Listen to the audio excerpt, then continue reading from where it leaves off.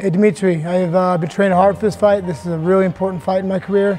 I had a horrible trip out here, and I'm gonna take it out on you when we fight. I'm gonna kick your teeth in.